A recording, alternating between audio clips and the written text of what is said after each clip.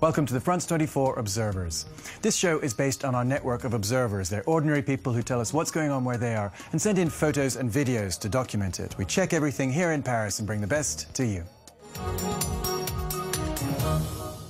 We begin today in Mali, West Africa. French and Malian troops are currently battling to retake the northern part of the country from Islamist forces who took control last year.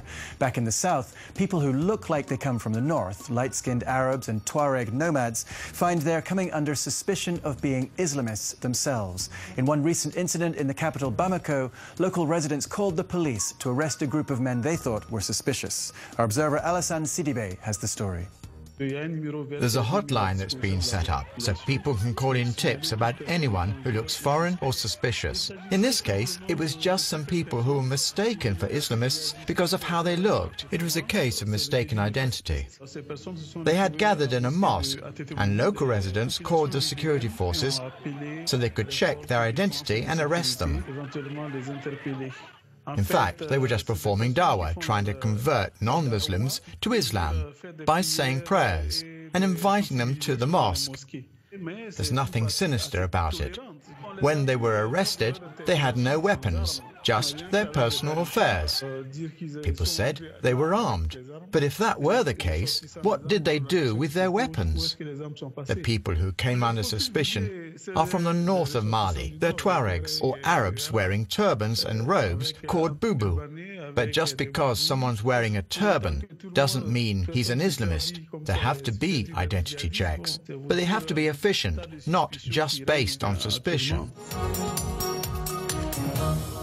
Next, we go to eastern China to a hotel called Arirang, not far from the border with North Korea. Now, Arirang is the name of the annual festival in North Korea that is known for its choreographed mass gymnastics. It seems that the hotel in China is getting inspiration from across the border. Take a look at this video with commentary from our observer Lu Hai Tao. The video was filmed in the Arirang Hotel in Dandong, a city on the North Korean border. You see team leaders forcing young employees to recite slogans over and over again about their loyalty to the hotel and their gratitude to the guests. Then the young women throw themselves against a rope. It's a symbol of the difficulties they face. You can see they're exhausted. It's crazy. At the end, they bow three times for their parents, for their guests, and for the hotel. There's nothing funny about it. It's scary. Those poor girls are very badly paid, too. That so-called company spirit reduces them to slavery. Why should they be grateful to this company? Unions are supposed to protect workers from this kind of thing, but they only exist in the public sector, and they're close to the government and don't really do anything anyway. It's common at Chinese companies to start the day with group chants and slogans, but not the kind of hysteria you see here. Maybe they were inspired by North Korea. Whatever the reason, it's way over the top. We finish today in the Islamic Republic of Iran with some points of view on sensitive social issues. Thanks to our observer Omid Habibinya for doing the interviews. In my city, I believe about 70% of people use satellite dishes. The police regularly comes to destroy them. I recently saw them take dishes from a roof near my house. They threw them onto the street, and a car came to collect them and take them away. Not long after, I noticed that this roof was once again covered in satellite dishes. Programs on state television, whether it's the news or entertainment, aren't worth watching. They're of poor quality.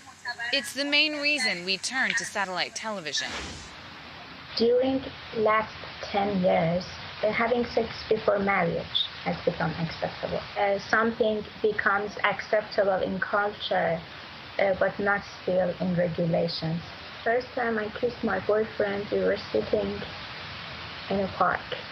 You can't imagine how was my heart beating because not because of passion, because I was afraid of getting arrested by police. That's all for this week. As always, you can find more reports from our observers on our website, on our Facebook and Twitter pages, and on our iPhone app. See you next time here or online.